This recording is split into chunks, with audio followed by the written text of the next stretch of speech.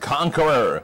Into the turn. It's Frank's Delight speeding things up. Right in behind. Global Bond is second. Conqueror is bent on getting the lead and it's outtrotted himself and it's gone to a break. Conqueror has jumped. So picking up the chase now is Seacrest Champ as Marshall now pushes a little button to go faster and the Seal gets the message and now it's ready to go past Frank's Delight. On the inside, Global Bond is third. A couple more lanes to OGG in fourth. Hung out so far is Gene's Baby. Mirroring on the inside to Duke of Dawn. Three lanes back to Yankee Warden. And after the break and last, Conqueror in a quarter and a 29 and one fifth. In charge, big leader so far is Seacrest Champ, powers away four lengths. Frank's Delight is second, inside Global Bond holding to third, OGG fourth. Two lengths to the Duke of Dawn in fifth.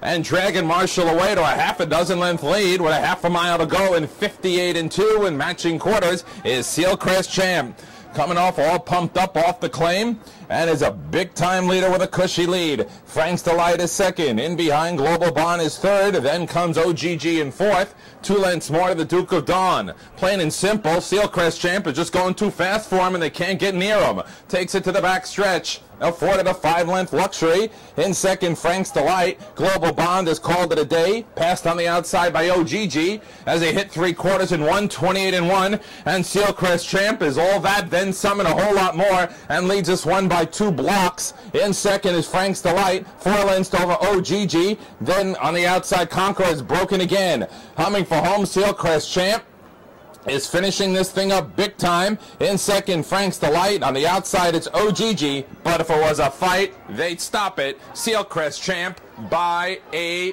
bundle. Holding for second is Frank's Delight. Third, OGG in 159 flat.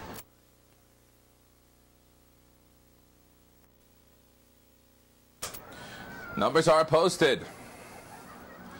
Just turned into a public workout. The winner five, Seacrest Champ Super Pleasure at an alter ego by Worthy Bowl. Scoring for Harry Nieberg of Brooklyn, trained by Jean-Claude Jobidon.